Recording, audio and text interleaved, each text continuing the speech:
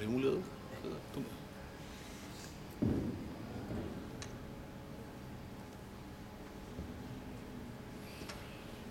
أعوذ بالله من الشيطان الرجيم.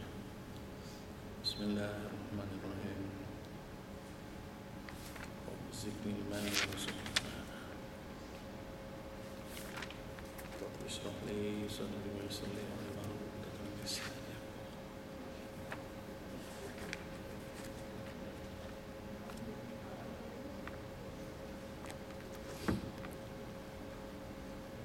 Assalamualaikum warahmatullahi wabarakatuh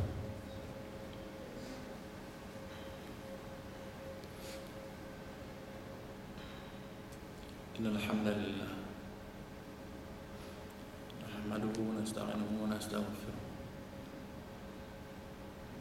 ونعوذ بالله من شرور أنفسنا. ومن سيئات أعمالنا.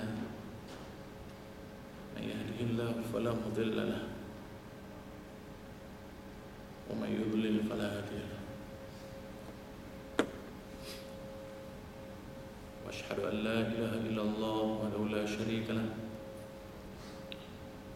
وأشهد أن محمدا عبده ورسوله. وعلى آله وصحبه وسلم.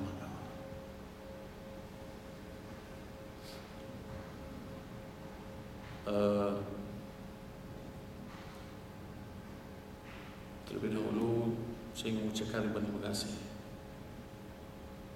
pada Ustaz Aid, Ustaz Aidil yang menempuh usaha dengan pihak Ibn Kathir. Uh, Kuasa Surau Tuan-tuan dan puan-puan yang saya hormati sekalian. Tuan-tuan sihat? Tuan-tuan Saya tempat tuan-tuan ini tak lama kita cuba selesaikan segera insyaAllah sebelum pukul 2 Kalau tuan-tuan nak masuk pejabat balik pukul 2 Dan kita akan apa Selesai daripada Tak sekira ringkas ni dah memperkenalkan tafsir Ibn Kathir ni. Saya harap tuan-tuan yang hadap hadir pada hari ini berdoa lah. Mudah-mudahan dakwah mendengar Al-Quran dan Sunnah ini dapat berkembang dengan jayanya. Dan Kepentingan tafsir Ibn Kathir di rumah-rumah orang Islam ni biar kalau boleh kita usahakan untuk masuk tafsir Makasir di orang Islam ni.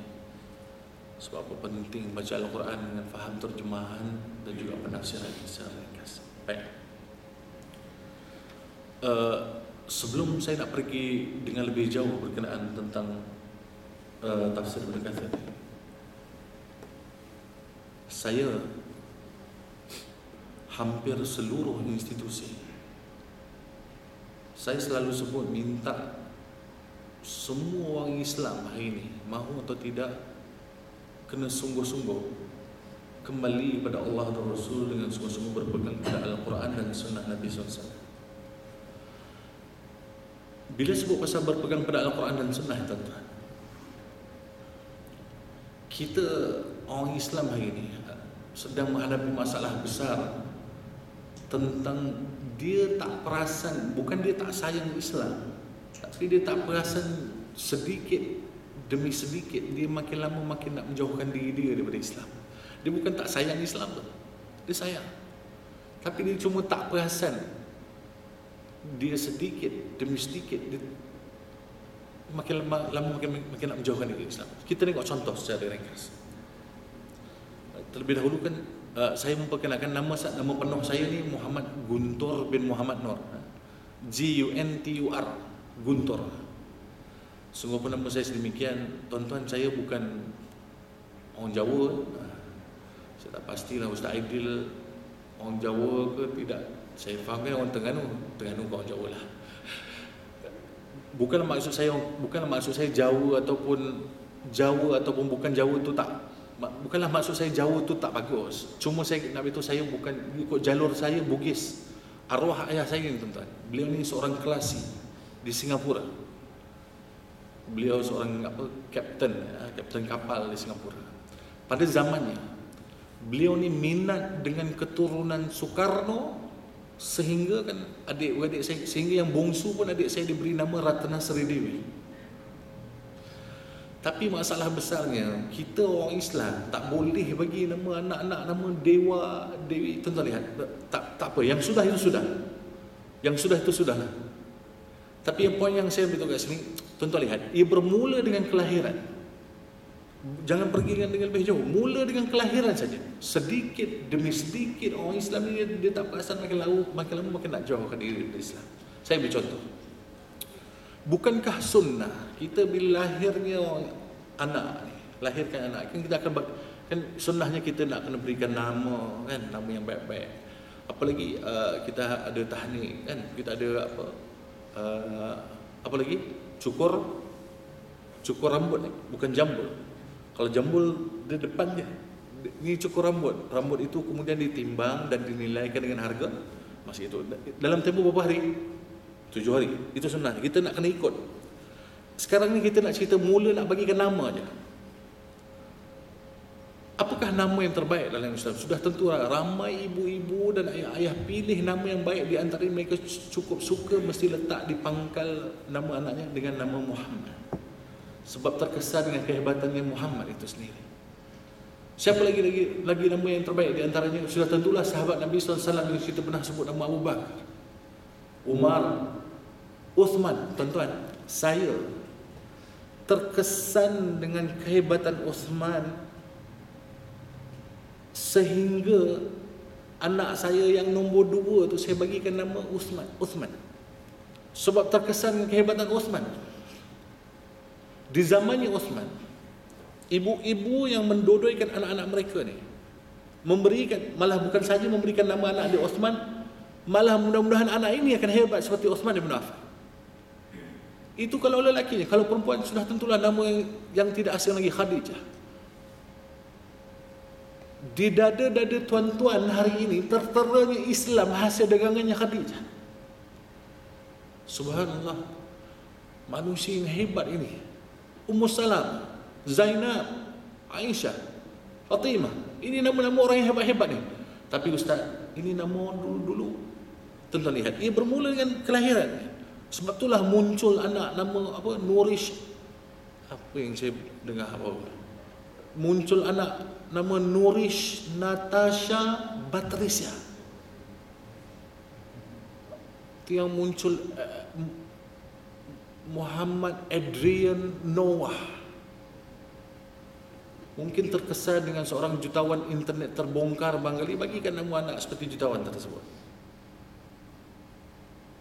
Mana tahu akan datang ada orang yang berminat dengan apa jutawan yang Malaysia yang agak-agak heboh ni. Siapa Alif Syukri maka terkesan kehebatan Alif Syukri itu maka anak itu akan diberikan nama-nama Alif Syukri. Tuan-tuan tak mahu letak anak nama Alif Syukri? Tak mahu. Eh. Itu dia maksud saya ia bermula dengan kelahiran. Mula nak bagi ke nama aja kita ada masalah. Sebab itu tuan-tuan mahu atau tidak kalau boleh kita mulakan dengan kelahiran anak ini kita hidupkan sunnah malah diberikan nama dengan nama orang-orang yang hebat di dunia dan di akhirat. Sedikit demi sedikit kita tak akan makin lama hidup mulakan dengan mulakan dengan memberi nama dan berakhir nanti akan datang insyaAllah budak ini akan hebat mengangkat Al-Quran dan Sunnah itu sendiri. Kenapa Al-Quran dan Sunnah? Sebab dalam khutbah terakhir Nabi SAW Saya tak pasti tadi saya masuk dekat dalam surau ni Hampir seluruh institusi kerajaan dan juga swasta Saya pergi termasuk di kementerian dan sebagainya Ada di surau-surau diletakkan tentang pernah jumpa khutbah terakhir Nabi SAW Yang Nabi sebut di dalamnya Nabi sebut tentang tidak akan ada Nabi atau Rasul selepas beliau. Apa lagi? Uh, apa lagi? Uh, uh, tentang bab riba. Apa lagi dalamnya Nabi, Nabi sebut? Apa lagi dalam khutbah terakhir ada beberapa perkara. Tetapi ada satu keratan yang sangat penting Nabi kata telah aku tinggalkan dua perkara yang mana kamu berpegang teguh dan tak akan sesat. Ini bermaksud bila sebut Nabi kata tak akan sesat. Selama-lamanya iaitu Al-Quran dan sunnahku ini menjadi jaminan untuk mereka yang benar-benar yang nak ke jannah. Tapi malangnya kita berada di fasa keberapa yang tuan-tuan? Ketahuilah baik-baik Nabi SAW kata apa? Lima fasa yang akan berlaku Lima fasa kita berada di fasa keempat. Yang mana fitnah Dajjal akan muncul di zaman kita Fasa kelima sudah tentulah akan akan akan datang ini akan menghadapi. Kan kaedahnya kita akan jumpa uh, ya apa dabatul ard uh, apa lagi? Ya'jud ma'jud dan yang fasa-fasa ni. Tapi yang fasa kita ini kita berada zaman fitnah ini mahu atau tidak kena sungguh-sungguh gigi al-Quran dan sunnah inilah fasa. Bagaimana manusia sehingga boleh berpecah ini tuan-tuan? Saya baru bersembang dengan sahabat saya apa Akhi Fatih. Kita lihat hari ini dekat Malaysia, bukan saya bukan saja dekat Malaysia, malah dunia. Islam itu yang Nabi SAW kata asalnya dagang ganjil dan ia akan kembali ganjil dan sedang berlaku. Manusia bertelagah orang-orang agama sendiri ber, ber, ber, ber, ber, bercakaran dan sehingga itu tidak tahu yang mana satu yang benar datangnya daripada Islam. Jadi mahu atau tidak, kenalah gigi sungguh-sungguh Al-Quran dan Sunnah. Tuan-tuan, perhatikan baik-baik. Sungguh pun Nabi tinggalkan dua perkara ini, Al-Quran dan Sunnah. Nabi juga sebut tentang umatnya yang akan berpecah ini. Kalau tuan-tuan pernah dengar lah, ni generasi muda ni, generasi anak-anak muda sekarang ni kan selalu pergi pusat karaoke. Mereka selalu nyanyikan satu lagu daripada M. Nasir sambil berjoget, berjoget-joget. Kau tak silap saya tajuk lagu ni Hud Hud kalau tuan-tuan pernah dengar lah ni. Ha. Kalau tuan-tuan berhati baik saya kalau masa di sekolah di apa di jawatan di pejabat pendidikan daerah masa program mereka Al-Quran, sekolah-sekolah masa latihan dalam perkhidmatan dan sebagainya. Pun saya selalu sebut perhatikanlah anak-anak murid ini, generasi-generasi yang sedang tenang ini. Tuan-tuan jangan terperanjat eh. Baru ni saya jumpa satu sekolah mereka telah buat statistik 85% ibu dan ayahnya tidak bangun pagi. Maksudnya tak bangun pagi itu tak solat subuh lah. Bila sebut kalau ibu ayahnya bagi macam tu, bagaimana anak-anak yang pergi ke sekolah? Sehingga satu peristiwa seorang guru hampir memukul anak murid. Tujuan dia kerana apa? Disebab anak murid ini datang lambat. Tujuan dia nak memukul anak murid ini bukan disebabkan anak murid ini datang lambat. Tujuan dia pasal apa? Anak murid ini tak solat subuh. Jadi saya pukul kamu hari ini disebabkan kamu tak solat subuh. Masa baru nak pukul, anak murid itu berkata, Cikgu, ayah saya tak pernah marah saya kalau, kalau saya tak solat subuh. Jadi cikgu tu nak pukul macam mana? Ditambahkan lagi majlis-majlis perkahwinan, pakcik-pakcik, makcik-makcik rebut mic nak nyanyikan lagu ni sambil berjoget-joget. Kalau tuan-tuan ingat dan lirik lagu tersebut dia kata apa? Uh, tujuh, tujuh puluh tiga pintu dia kata. Kan? Tujuh puluh tiga jalan yang hanya sampai satu jalan. Mereka menyanyikannya sambil berjoget-joget. Sedangkan ia merupakan keratan hadis Nabi SAW tentang umat hadisnya agak panjang. Ia melibatkan orang Nasara, orang Yahudi, semua firqahnya akan semua firqahnya akan ke neraka. Apa itu firqah? Maksudnya kumpulan. Orang Islam ini akan berpecah sehingga 73 firqah, tuan-tuan. 72 akan ke neraka. Yang mereka nyanyikan 73 pintu itu tadi. 72 akan ke neraka, hanya satu masuk syurga. Siapakah mereka yang satu ini? Mereka adalah orang mengikuti sunnahku dan mengikuti sunnah sahabat. Dalam riwayat lain kita akan jumpa tentang al-jamaah sebab itu rata-rata ustaz-ustaz selalu sebut tentang as-sunnah wal jamaah. Apa pegangannya? Sudah tentulah ini dua perkara. Al-Quran dan sunnah Nabi SAW. Mahu atau tidak tuan-tuan hari ini saya mohon jasa baik tuan-tuan dan tuan-tuan. Beritahu keluarga kita sementara masih ada. Ingatkan pada telinga mereka. Mahu atau tidak bagaimana untuk mengelakkan kita berada dalam 72 firqah itu di akhir zaman Mahu atau tidak hari ini kena hati-hati jumpa orang macam saya.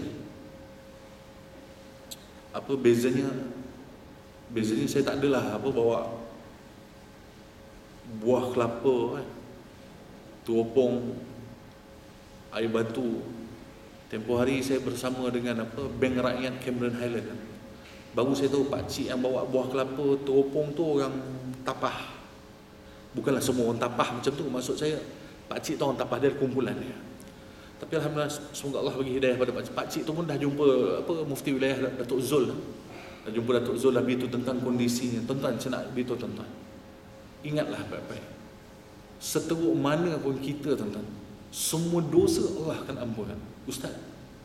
Walaupun saya telah melakukan sekian-sekian-sekian. Eh jangan cerita. Apa kata Al-Qarni? Jangan usah menggergaji habuk kayu habuk kayu kita himpunkan kita gergaji tak ada apa. Yang sudah itu sudah. Hebatnya Islam saya beristighfar memohon ampun kepada Allah sehingga hari kursi Allah kata aku akan ampun dan aku tidak peduli. Tapi tuan-tuan kena ingat semua dosa Allah akan ampunkan kecuali satu itu dosa. Dosa syirik. insyaAllah kita ada Ustaz Aidil ada aljawatan kuasa surau ni nanti masa jumpa Ustaz-Ustaz yang lainnya. Kita minta kalau boleh Sementara masih hari ini fokuskan dulu untuk urusan tajuk-tajuk tentang bab, bab akidah. masalah besar orang Islam yang sedang berlangsung hari ini disebabkan urusan masalah akidah orang Islam tuan-tuan. Tidak akan aku turunkan seorang Rasul itu melainkan kaum itu berkata agamaku adalah agama nenek moyangku. Tuan-tuan lihat sendiri. Apa dah jadi dengan Islam ini? Berapa ramai orang Islam hari ini masih lagi jumpa bomoh-bomoh minta buncut-buncut pertulisan ayat Al-Quran dan dia sendiri tidak fahaminya kemudian digantungkan di penjuru-penjuru kedai untuk melariskan perniagaan.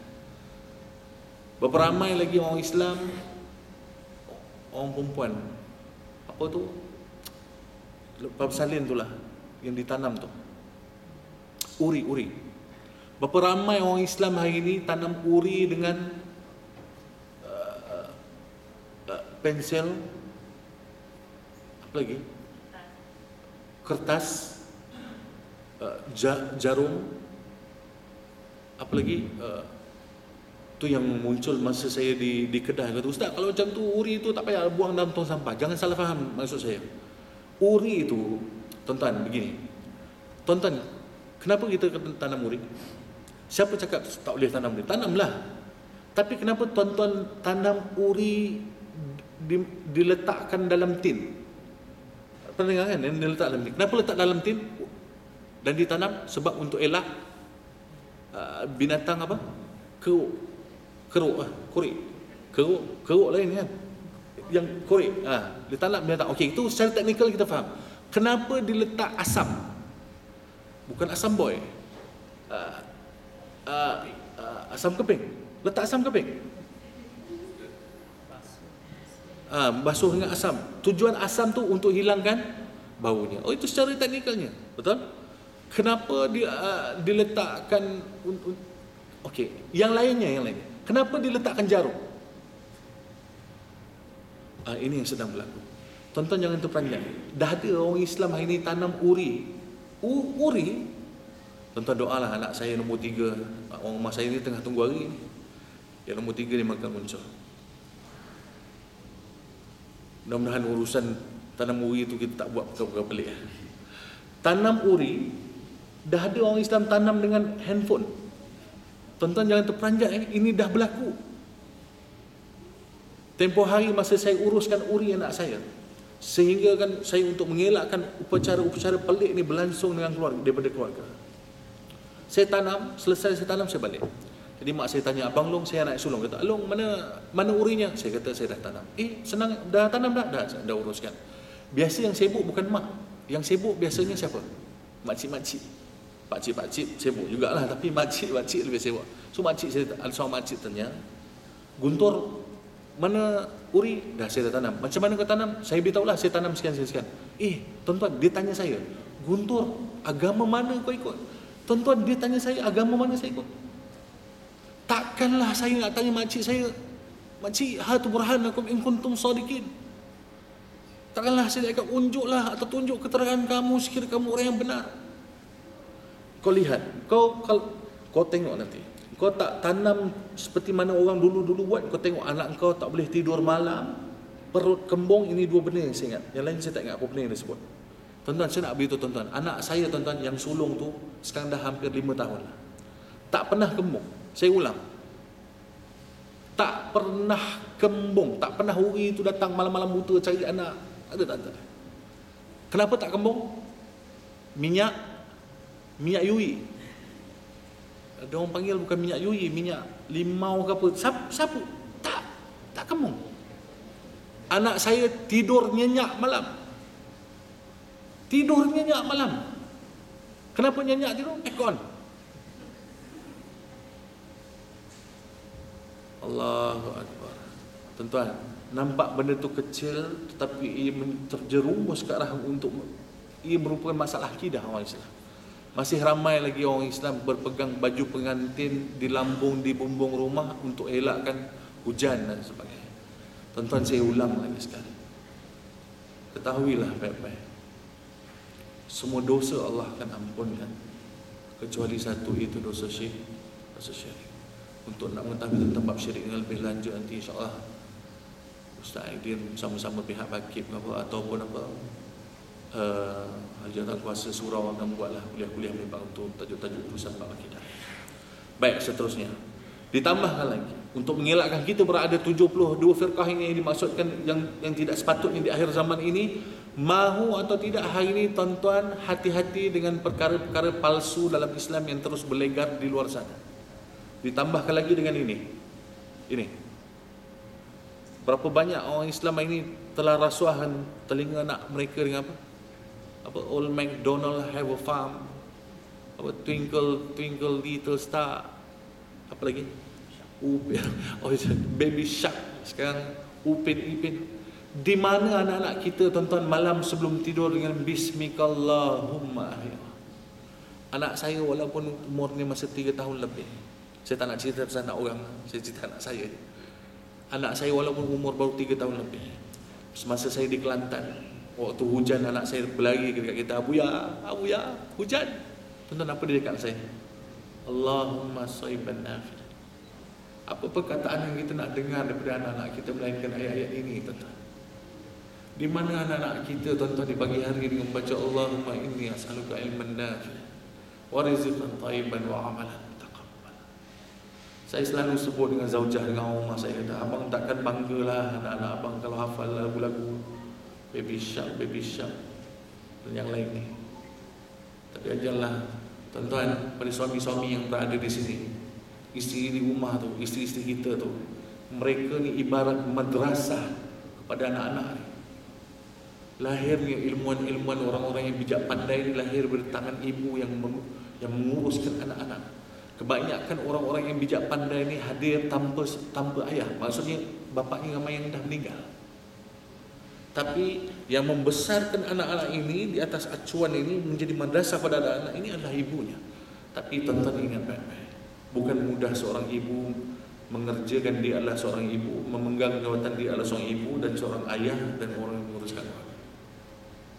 Sebab itu ibu layaknya kalau boleh usahakan biar di rumah urus anak-anak sebaik mungkin sebab tu muncul baru-baru ni seorang sahabat saya di Melaka kenalannya anak dia apa meninggal ter, ter, terdesak ter, tersedak susu. Tentang dengan peristiwa baru-baru ni? Kemudian menyalahkan apa? Menyalahkan institusi yang menjaganya tuan-tuan. Allah berfirman dalam Al-Quran. A'udzubillah minasyaitanir rajim Likulin nabai mustaqarun sawfa ta'ala. Tiap-tiap perkhabaran tuan ini dalam Islam ini. Tiap-tiap perkhabaran ini sesungguhnya ada ada tempoh. Seperti mana tsunami sebelum sampai air laut menjadi surut. Ia merupakan satu perkhabaran daripada Allah. Allah turun ke perkhabaran dahulu. Kemudian saat orang ramai ke pantai pungut ikan dan berakhir tsunami sampai dan ramai manusia mati. Waktu itu. Begitu juga musibah-musibah yang sedang berlangsung beberapa hari ini kisah anak-anak anak-anak tersedak tersedak susu mahat tahfiz terbakar di Kuala Lumpur ni di mana ni? Kan? Di Kuala Lumpur ni. Allah tarik nyawa-nyawa orang yang menghafal Al-Quran. Orang orang mesti akan cakap kenapa rumah apa dinding ter, apa ni tak ada pintu kecemasan ke apa-apa tuan-tuan. Sepatutnya orang-orang yang macam inilah Allah lebih jaga bila Allah munculkan mereka mati dalam keadaan meninggal dalam keadaan terbakar ini tuan-tuan dan ia merupakan satu perkhabaran daripada Allah. Tapi saya nak beritahu tuan-tuan Allah cabut nyawa mereka yang menghafal Al-Quran tapi Allah tinggalkan generasi yang sedang tenang hari ini yang mampu pergi pusat karaoke dan pilih jalan kalau boleh nak keluar TV menyanyi di khalayak ramai. Ini yang sedang berlangsung.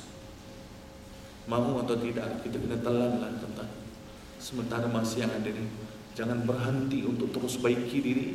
Kembalilah sungguh-sungguh kepada Allah dan Rasul Dengan sungguh-sungguh berpegang pada Al-Quran Dan sunnah Nabi SAW Tuan-tuan yang sudah itu sudah. Saya teringat satu doa Nabi SAW Berkenaan uh, malam Laylatul Qad Yang mana Aisyah bertanya kepada Rasulullah Sekiranya jumpa malam Laylatul Qad ni Apa doa yang paling Paling paling Apa yang patut aku buat? Apa Nabi SAW Doa itu sangat ringkas Dan ia sangat luar biasa. Kalau boleh pilih doa ini rebut peluang di malam hari letak ubun-ubun kita di lantai hinakan diri kepada Allah. Allahumma innaka afu Allahumma innaka afu wa afuan fa'afan Allah adalah maha pemaaf dan memberi kemaafan. Ampunkan aku ya Allah. Tuan-tuan sebaik-baik manusia adalah orang yang mengingati hari matinya dan bersedia untuk hari matinya. Bagaimana nak bersedia dalam Islam, tuan-tuan, tuan-tuan kita kena usaha jangan jangan berhenti untuk terus baiki. Cukup kan? Saya nak terus berkenaan tafsir Makasir ni. Jam yang di dinding itu betul ke? Betul ya? So saya akan ikut jam tu lah. Baik, seterusnya. Tuan-tuan dan puan-puan yang saya hormati sekalian. Berkenaan tafsir Makasir saya difahamkan uh, di surau tuan-tuan tuan-tuan ada kuliah uh, tafsir dan sebagainya.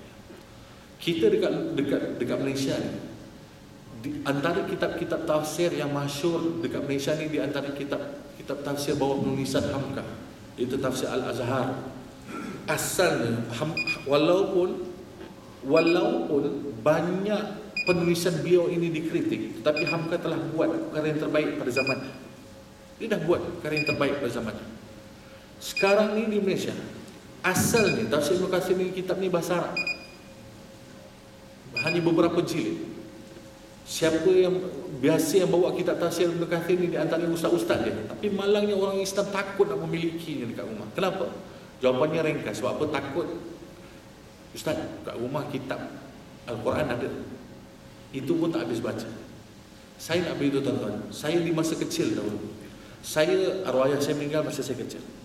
Subuh saya di masjid, maghrib saya di masjid.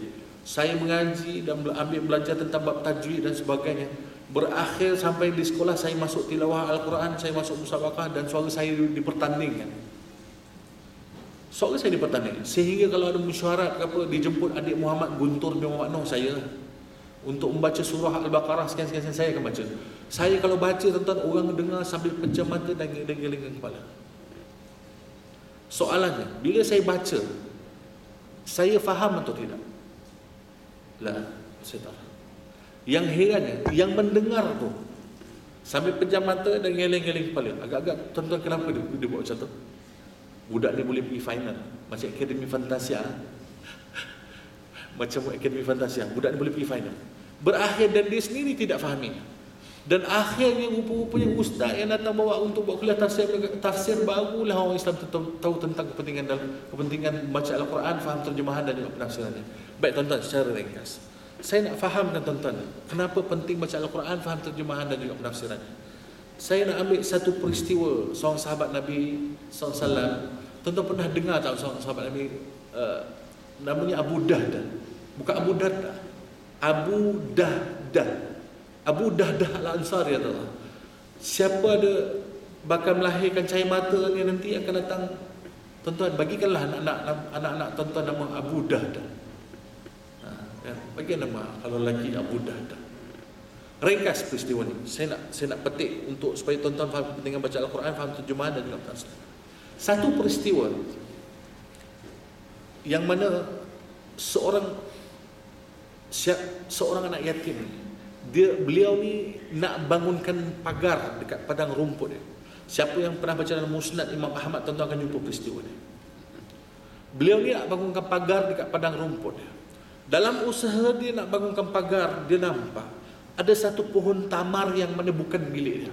Tuan-tuan, dasar Islam, pohon orang sebelah, buahnya jatuh ke laman kita, siapa punya buah? Siapa punya buah, tuan-tuan? Kita kita tanam sungguh-sungguh pohon mangga. Saya orang Melaka, saya tanam pohon mangga sungguh-sungguh. Pohonnya condong ke tanah orang. Buah tu siapa punya? Siapa punya tuan Ah, sebab tu masa kecil dulu saya pernah dengar siapa Syekal yang pernah nyanyi dia kata apa? Jangan dipagar ni orang yang condong buahnya jatuh ke laman ke laman orang. Baru kita tahu rupa-rupanya dasar Islam. Pohon ni tuan-tuan, pohon kita, buahnya jatuh ke laman orang. Buah tu bawa. Itu tuan-tuan ingat baik-baik. Ustaz, semua buah boleh, durian tak boleh. Eh tak ada, durian termasuk. Semua buah. Tapi ma- masalahnya, kita tanam pohon mangga, pohonnya condong, buah tu tak jatuh. Yang tak jatuh, tuan-tuan pernah, tuan-tuan pernah, tuan-tuan okey ya? Pernah tak berlaku peristiwa ni? Tuan-tuan tanam pohon mangga, pohon tu condong ke tanah orang, tak jatuh, orang sebelah datang bawa suak kabuk. Uh, suak khabar, suak khabar. Bungkus. Pernah laku? Ah, tu buah tu siapa punya? Ada assignment lah untuk orang-orang KLCC ni. Eh, tuan-tuan dan tanya Ustaz Aidil tahu nak selesaikan kemelut ni. Baik kembali, eh? Kembali, kembali. Jadi dalam usaha dak bangun pagar ni nampak ada satu pohon tamar yang mana bukan yang bukan miliknya. Mahu atau tidak dia kena panggil tuan tanah ni. Kalau tak nanti pagar dia jadi apa? Macam jadi tak cantik gitu. Jadi dia panggil tuan tanah dia "Fulan, kemari." Beliau kata, "Berikanlah pohon tamar ni pada aku." Kata, "Kau mempunyai pohon tamar yang banyak, berikanlah." Orang sebelah tuan-tuan ingat dia macam apa? Uh, ke, uh, bukan kedekut macam bekir uh, dia bah, bakhil kot. Macam tu kita panggil. Macam orang yang berkira bang Ali kata tidak aku tidak akan berikan. Berikanlah kau punya pohon tamar yang banyak. Orang sebelah kata tidak aku tidak akan berikan. Untungnya mereka pada zamannya mereka ada siapa mereka ada Nabi SAW sebab tu institusi Islam apa yang berlaku ada perkara yang bukan kita ahli kita kena rujuk kepada ahli kena bawa hal ini kepada ahli. Dan mereka orang yang membuat keputusan tak boleh dengar sebelah pihak betul? Kena dengar kedua-duanya. Setelah Nabi dengar kemudian Nabi berkata sesuatu perkara yang luar biasa kepada siapa? Bukan kepada si yatim tadi tapi berkata kepada si bakhil yang tadi tak nak bagi tamar kata fulan kemari kau berikanlah pohon tamar kau tu pada yatim. Maka Allah akan ganti. Allah akan gantikan satu pohon tamar. Maksudnya satu pohon tamar kembali pada yatim. Maka Allah akan gantikan satu pohon tamar dalam syurga. Yang mana kita berada di bawahnya menunggangi satu kenderaan seratus tahun perjalanan masih lagi di bawah naungannya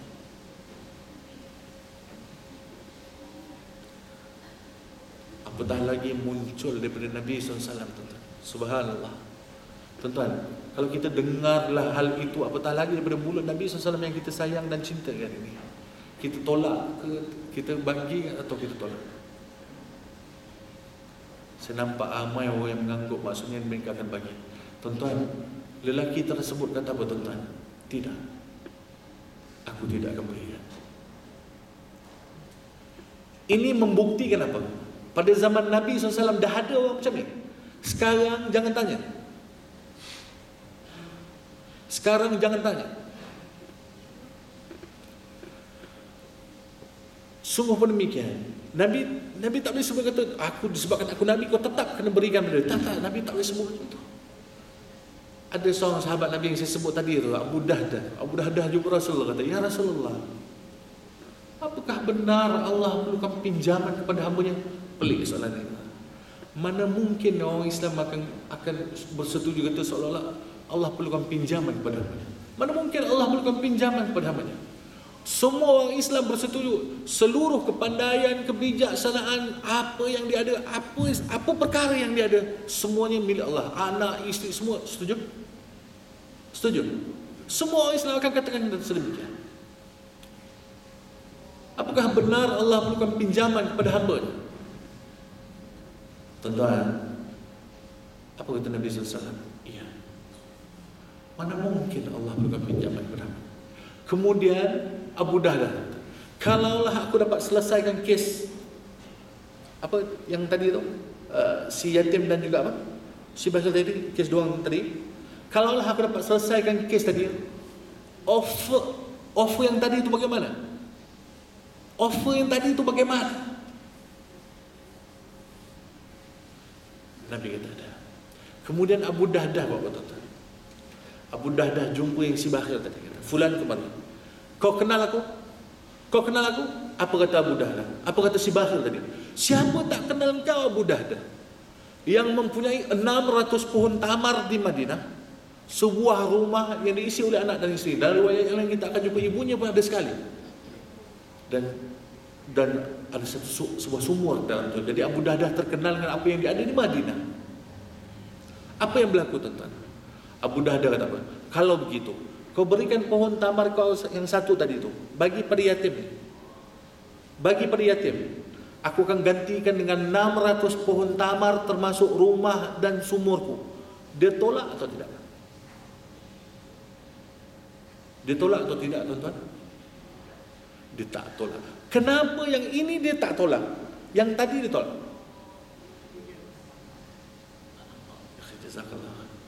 Iya tuan-tuan. Seperti mana kita orang lelaki yang Allah janjikan setiap manusia, setiap lelaki ini akan dijanjikan bidadari, betul? Tuan-tuan? Tuan-tuan. Orang perempuan jangan sati kat atas tu, dia ada bahagian dia. Ini orang lelaki ni. Tapi berapa ramai orang orang Islam kita yang lelaki mengejar bidadari dunia berbanding bidadari akhir. Saya kalau baca bab bidadari tuan-tuan masa saya duduk di Kuala Lumpur. Bila baca bab syurga ni, penat macam mana saya boleh baca sampai subuh kitab ni sehingga rumah saya tanya abang abang tak tidur lagi abang tak boleh tidur so. kenapa abang tak tidur abang baca bab syurga so. termasuk cerita bab bab bidadari bila waktu yang sama orang rumah saya pun tanya kata abang tak baca bab neraka tuan siapa saja yang sanggup baca bab neraka ini Ketakutan ni luar biasa sehingga kalau boleh buka sekejap lepas tu tutup. Sebab kita takut dengan peristiwa yang pasal neraka.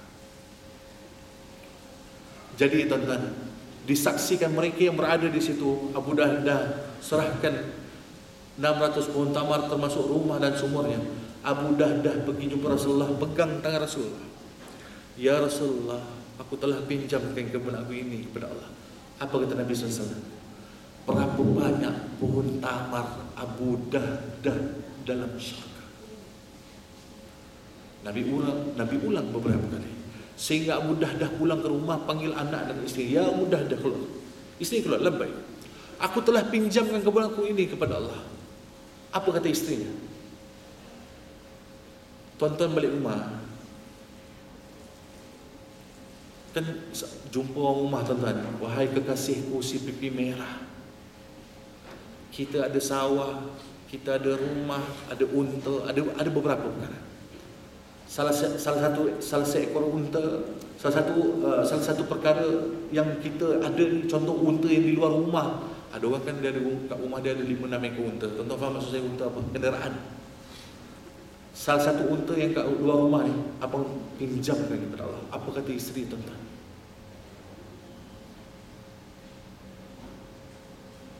termasuk yang puan-puan ke atas sana. Sebab itu saya selalu sebut kalau boleh orang Islam, tuan-tuan yang mempunyai anak lelaki ataupun mahu kami perempuan atau yang mana yang bujang ataupun nak nak tambah isteri sekalipun. Saya nak beritahu tuan-tuan, usaha cari isteri yang turut serta dengan perjuangan suaminya. Walaupun suaminya kerja apa sekalipun. Berapa ramai isteri-isteri yang tak mampu untuk turut serta dengan perjuangan suami. Sebab itu bimbing anak-anak perempuan kita, isteri-isteri kita supaya mereka benar-benar faham urusan agama ini sehingga mereka akan turut serta dengan perjuangan suami. Isterinya mudah dah kata apa tuan-tuan? Pinjaman yang menguntungkan ya tuan-tuan dan puan-puan yang saya hormati sekalian. Poin yang saya nak beritahu kat sini. Apakah benar Allah berikan pinjaman kepada hamba-Nya? Ada tuan-tuan. Dekat mana? Surah Al-Baqarah ayat 245. A'udzubillah minasyaitanir rajim. Man zal ladzi yuqidullah qardan hasana fayudha'ifahu lahu adha'afan katsira. Barang siapa yang minjamkan suatu perkara yang baik kepada Allah maka Allah lipat gandakan kejaran kepadanya. Tuan-tuan, dengan ayat Al-Quran, dengan faham sedikit terjemahan, Abu Ibn Kathir meletakkan peristiwanya Abu Dahdah di dalam tafsir Ibn Kathir hanya dengan satu ayat yang ringkas itu. Tuan-tuan bayangkan berapa banyak ayat Al-Quran yang orang Islam agak tertinggal dengan sebab itu kita mahu generasi hari ini yang sedang tenat hari ini cuba baca Al-Quran, faham terjemahan dan penafsirannya sungguh-sungguh. Kita dah tak mahu dah seperti burung kakak tua dah. Penat. Tuan-tuan nanti usahakan dah. Dapat tafsir Ibn Kathir ni, usaha. Kitab ni bukan satu tuan-tuan. Dia dah diterjemahkan 10 jilid, beratnya 13 kilo. Beli dekat luar sana. Jangan terperanjat tentang harganya sampai seribu lebih lapan ratus lima puluh sembilan ratus ringgit tak apa jangan terperanjat beli letak kat rumah tuan-tuan dekat hall rumah tuan-tuan tu TV-TV mansong rumah saya tuan-tuan TV 1 TV 2 TV 3 tak ada Astro jangan tanya Letak kitab-kitab Riyadhus Salihin, Bulughul Maram, apa lagi? Sifat salat, apa lagi? Uh, rumah-rumah yang dijauhi syaitan. Tafsir Ibn Kathir. Letak kitab-kitab yang masyur letak kat hall rumah. Biar orang datang ke rumah kita berbual perkara menafat paling tidak membaca kitab-kitab yang ada. Tuan-tuan kalau buat macam ini orang datang rumah atau tidak? Oh, saya jawabkan tuan-tuan orang tak datang rumah. Cuba tuan-tuan letak TV 56 inci, 70 inci. Eh, sekarang dah berapa inci dah? Barangkali 70, 80 barangkali.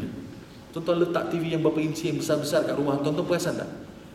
TV yang besar tu letak kat hall rumah time tu ramai orang datang. Tuan-tuan perasan tak? Reality show hari ni mampu menghimpunkan keluarga. Ni apa yang baru habis ni? Apa vaganza, bola dan apa-apa ni. Tuan-tuan perasan tak? Reality show hari ni mampu menghimpunkan keluarga. Tapi agama ini tidak. Ya ayyuhallazina amanu wa anfusakum wa. Mereka beriman, wahai mereka yang beriman, selamatkanlah diri kalian dan keluarga kalian daripada api neraka. Tuan-tuan, tutup beberapa perkara yang tak perlu untuk anak-anak dan keluarga. Tapi sebelum anak-anak buat, isteri-isteri buat, kita orang lelaki, orang